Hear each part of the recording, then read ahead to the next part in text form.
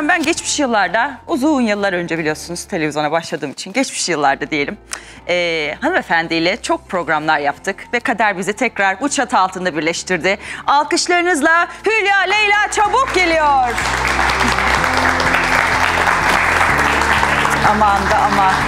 Bu ne kadar Yani- güzel bir hanım. Yani ne bu kadar- kader bu kadar bizi güzel. tekrar Beyaz TV'de Geri buluşturdu. geldin değil mi? Geri geldin. Geri geldim. Ben hiç gitmemiştim ki. Gençleşmiştin. Hiç geri, gel- geri geldin. Siz de gelin şöyle ben de size bir bakayım ekrandaki Hayır, izleyicilerimiz de görsün. Biz ne kadar oldu biliyor musun? Ay, 11 bilmiyorum. sene oldu. Ya anlatmayın ben öyle demedim Ama- ya. Minik minik yıllar dedim yani. Minik Düşünün minik yani. Ya Ama 11 yıl. siz geri Bende geldiniz. çocuk yoktu tabii. Çocuk yoktu. İşte ben o Allah'tan 11'e bir çocuk araya sıkıştırmışım. Harikasın. Vallahi. Harikasın. Dur Güzel. gitmeyin siz arkanızı dönmeyin şu izleyicilerimize şöyle tamam, güzel yüzünüzü görsünler. Hülya Hanım'la Onlar neleri konuşacağız hatırlayalım ondan sonra yerimize geçelim. Tamam. Şimdi geçelim. Bitkisel tedavi yöntemleri dünyada hangi durumda? Hangi sorunlara hangi bitkiler iyi geliyor? Bitkisel ürünlerin komplikasyonları var mı? Bitkisel tedavi yöntemlerini Herbalist Hülya Leyla Çabuk Sağlık zamanında anlatacak. Az sonra.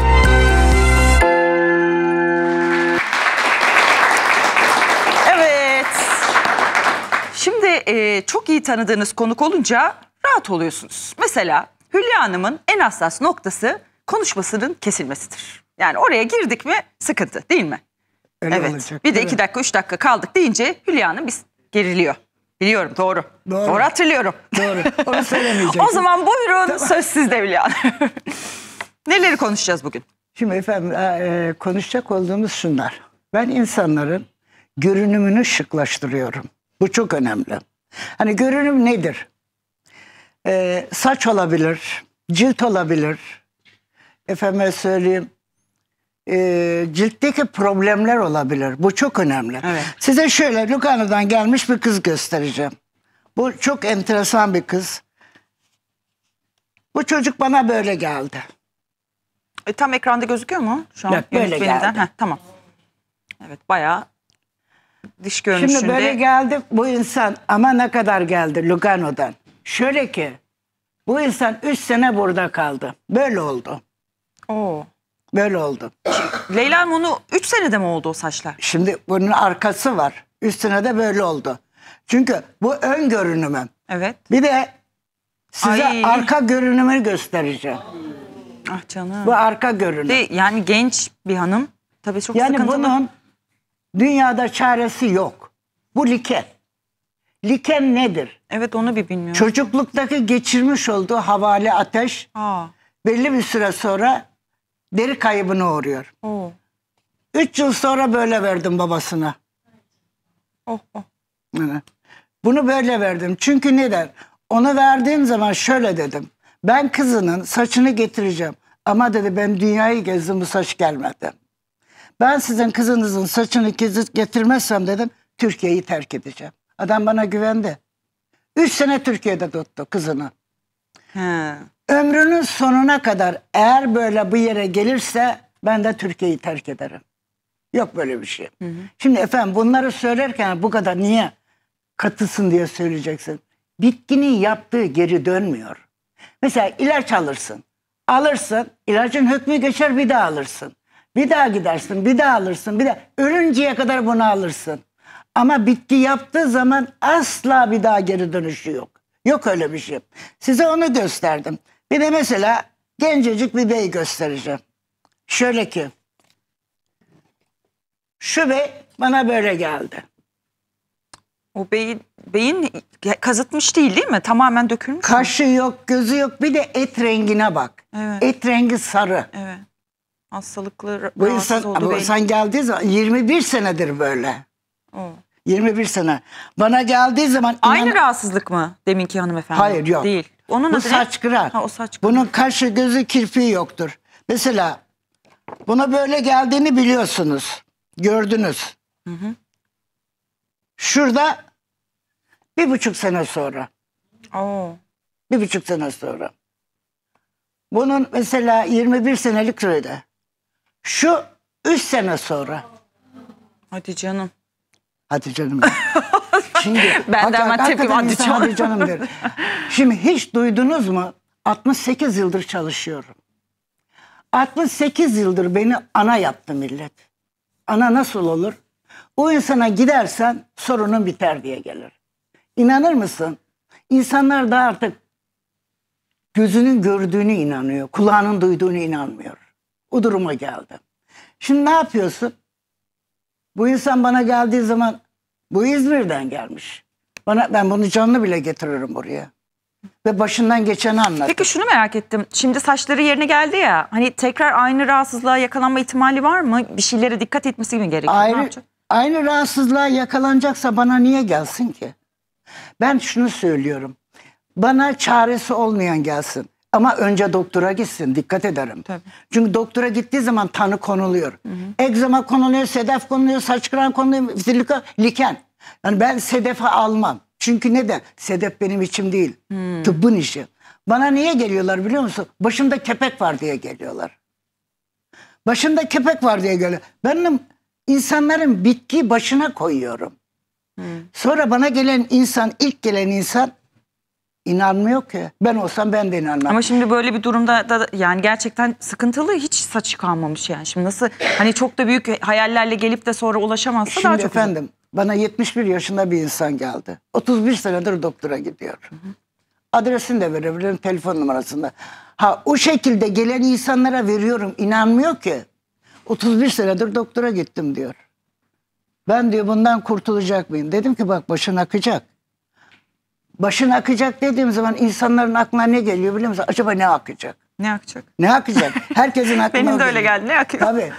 Şimdi sivilce herkesin gördüğü bir sivilce vardır. Sivilceyi sıkarsın içi boşalır. evet. Arkadan zap gibi bir su gelir dikkat et. Evet gelir. Arkadan zap gibi bir su gelir. İltihap.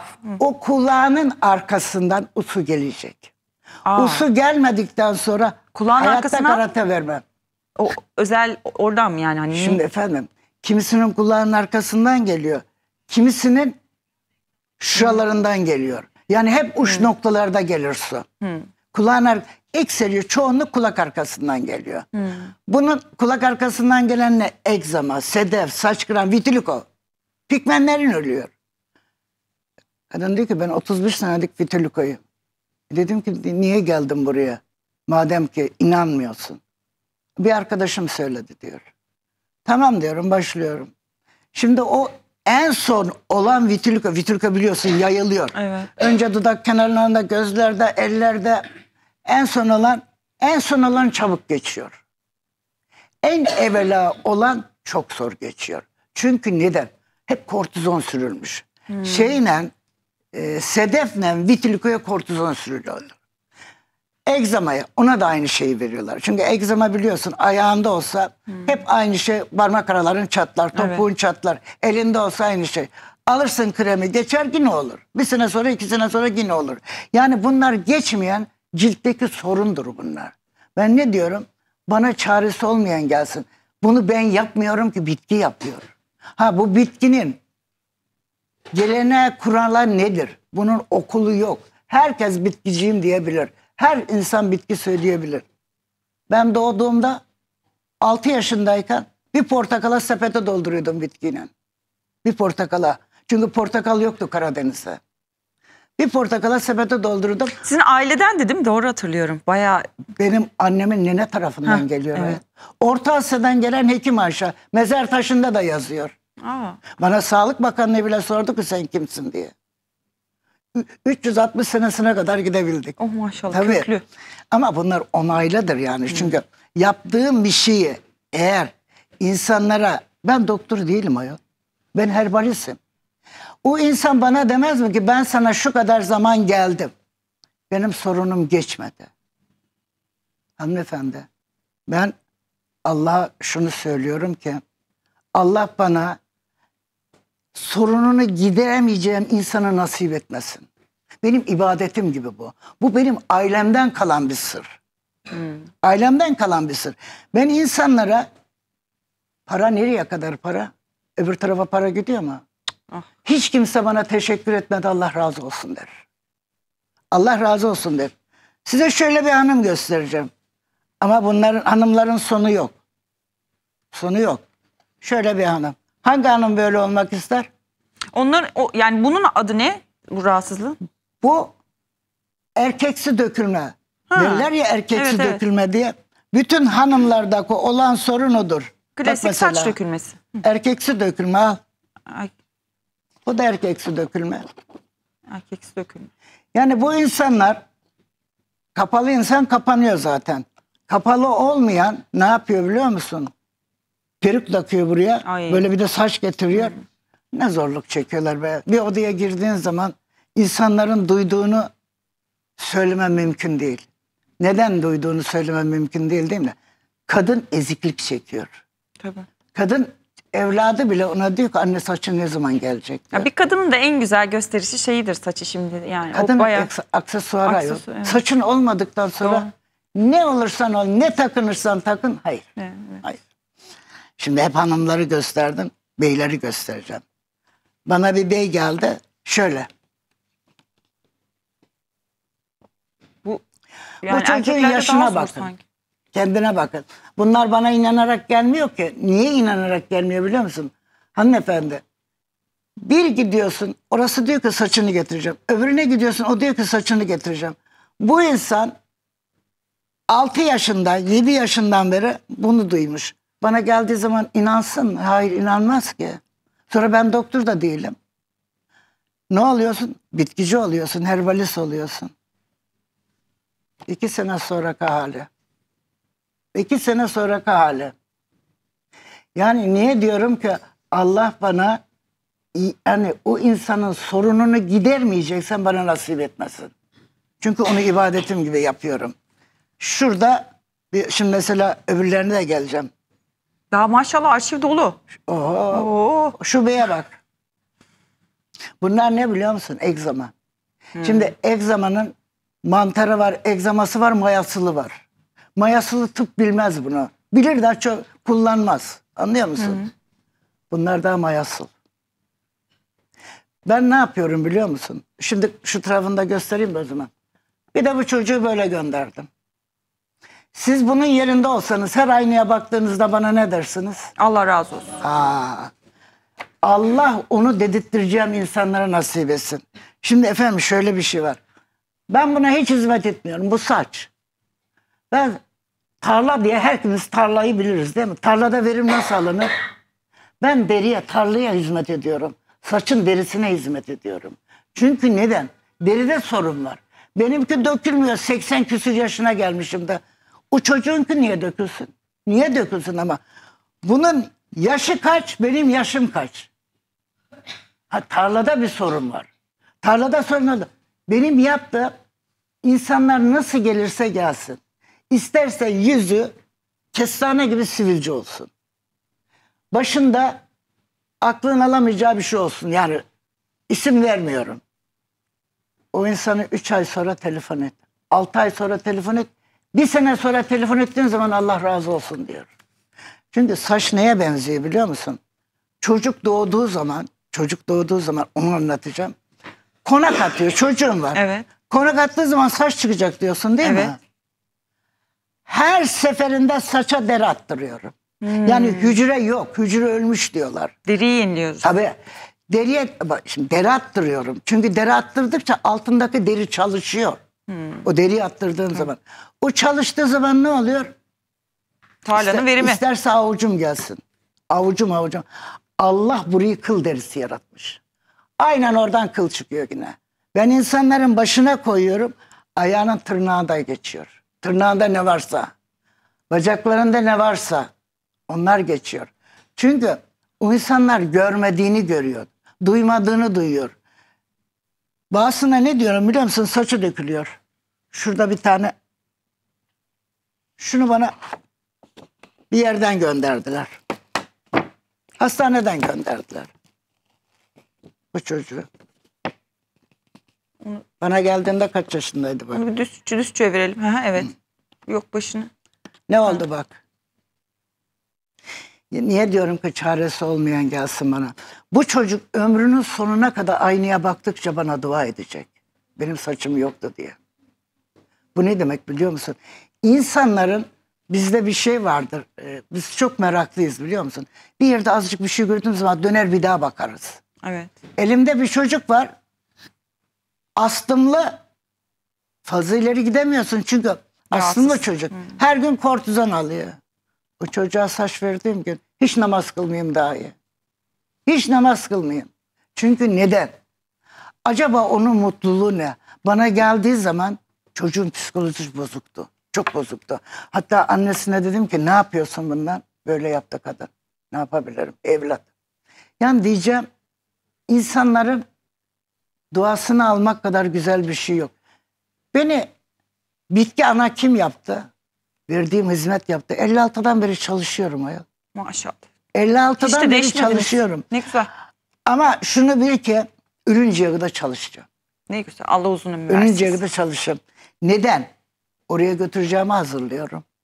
Öbür tarafa kimse bir şey götüremiyor ama ben götüreceğim. Ben Sizde bir de çok hikayeler vardır değil mi? Baba. Hani şimdi böyle resimleri Bitkinin- gösteriyoruz ama onların bir de yaşam öyküleri. dinlersen dersin ki olmaz böyle bir şey. Olmaz. Bak mesela bir hanım göstereceğim. Like'nin başkan, başlangıcını. Şimdi şöyle bir hanım gösteriyorum size. Burada arşivde çok var ama hangisini göstereceğim? Bunda liken başlıyor. Buyur. Liken ne biliyor musun? Et kayıp oluyor. Şöyle ki kayıp oluyor. Şurada bir doku vardır. Yani şu doku kadar doku var kafa derimizde. Onun altındaki doku kayıp oluyor. Sadece şu deri kalıyor şu. Şu zar kalıyor. Oraya saç ekemezsin. Hiçbir şey yapamazsın. Çünkü altı yok ki saç eksen. Eksen de tutmaz. Bu insan, gencecik insan bu şekilde başlamış. Ne gençler var da gösteremiyorum. Benden sonra, benden çıktığı zaman bu şekildeydi. Hayatının sonuna kadar yine söylüyorum. O rahatsızlığı görürse ben Türkiye'yi terk ederim. Ha bir de Ha, böyle bir şey bir var yani. Bunu söylüyorum niye? Bak bunu söylet, söyleten ne? Yaşamım söyletiyor bunu. Ben yaşayarak öğrendim. Ben insanlara hizmet ederek öğrendim. Evet bir bilgim vardı. Aileden gelen bilgim vardı ama bu bilgimi Allah nur içinde yatırsın. Ziya Konurar beni İskoçya'ya 5 sene götürdü getirdi. Allah kendi avucundan versin. Çünkü neden? O zaman havanda dövüyorduk, hazırlıyorduk, olduğu gibi koyuyorduk. Ama şimdi modernleşti. Eczanelerde satılıyor. Eczanelerde tabii. Eczane, eczanelere bayilik veriyorum. Depolarda istediği zaman depolarda satılıyor. Ulaşamadığım yerler var. Şimdi efendim şöyle bir şey var. Eğer kötü bir şey olsaydı ben bugün bitki ana olamazdım. Şimdi size bir şey daha göstereceğim. Bu da çok enteresan.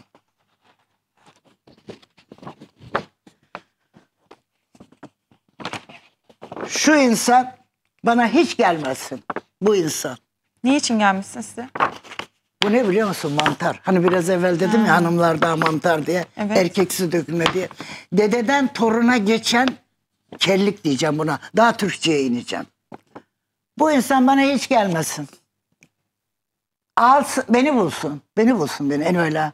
Ben geldiği zaman onlardan ücret almıyorum. Hayır. Sorununu söylerim. Ne kadar kullanacağını söylerim. Allah selamet versin derim. Bu insan bu, bunun gibi olan bu başlangıç. 8 ay sonra bu. 8 ay sonra bu. Acaba bunun başında saç daha dökülecek mi?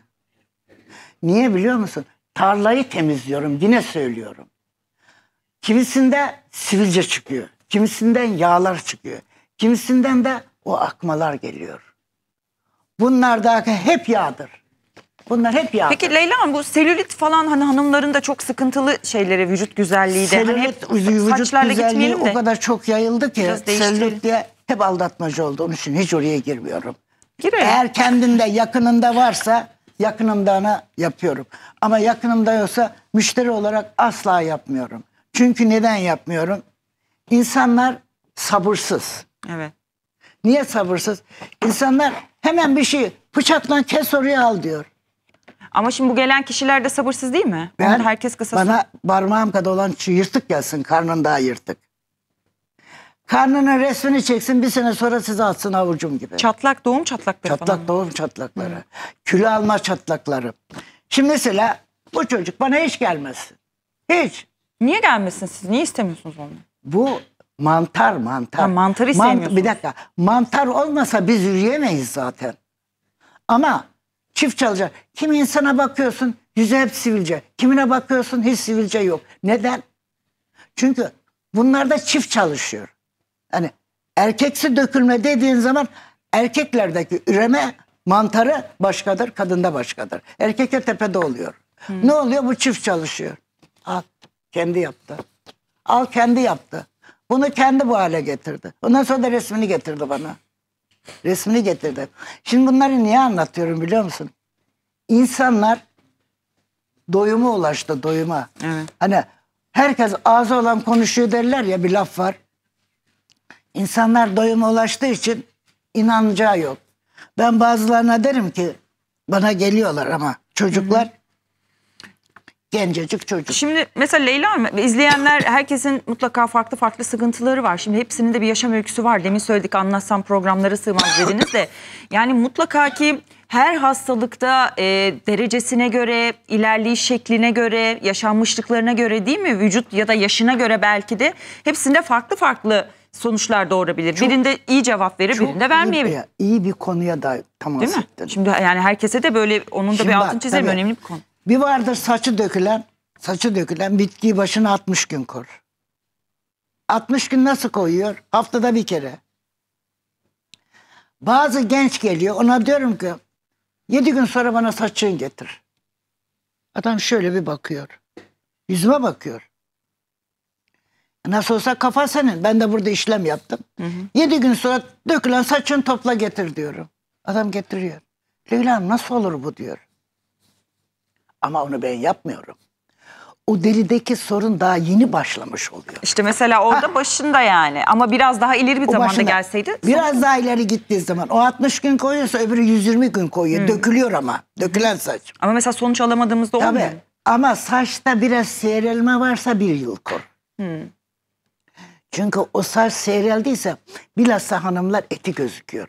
Şu tepeden Evet. et gözüküyor. Et gözüktüğü zaman erkeklerde de aynı şey. Işığın altına şeye giremiyorum diyor. Söyle. Asansöre girdiğim zaman ışık tepemde ya diyor başka yere kaçıyorum diyor. Hani öyleleri de var. Yani diyeceğim o bir sene kor. Ha. Şöyle hafif ortaya gelsin. Böyle ortaya gelelim. Şu Siz gelmiyorsunuz ben ortaya gelelim. Gelelim gelelim. ortaya mı gelelim? Tabii şöyle ortası güzeldir. Havalı. senin, senin güzel dediğin yer güzeldir. Güzel. Şöyle öyle dın dın dın dın yürüyelim. Evet. ha.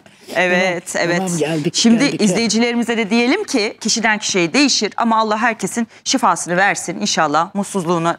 Kişiden kişiye değişir. Saçı açılmış, deri açılmış, tepe açılmış. Onu zaten bana geldikleri zaman ben onlara ne kadar kullanacağını söylüyorum. Tamam. İster gelsin ister gelmesin. Onu da altını çizelim. Çok mutlu oldum sizi gördüm. Aa, Onun için buraya Lütfen geldik 11 yıl sonra görüşmeyelim bir Tamam, daha artık. Yok, yok artık. Buradasın ya abone olacağım. buraya. Buradayım, tamam. Abone olacağım. ben geldiğim zaman abone Alkışlar Hülya Hanım için. Teşekkür ediyoruz.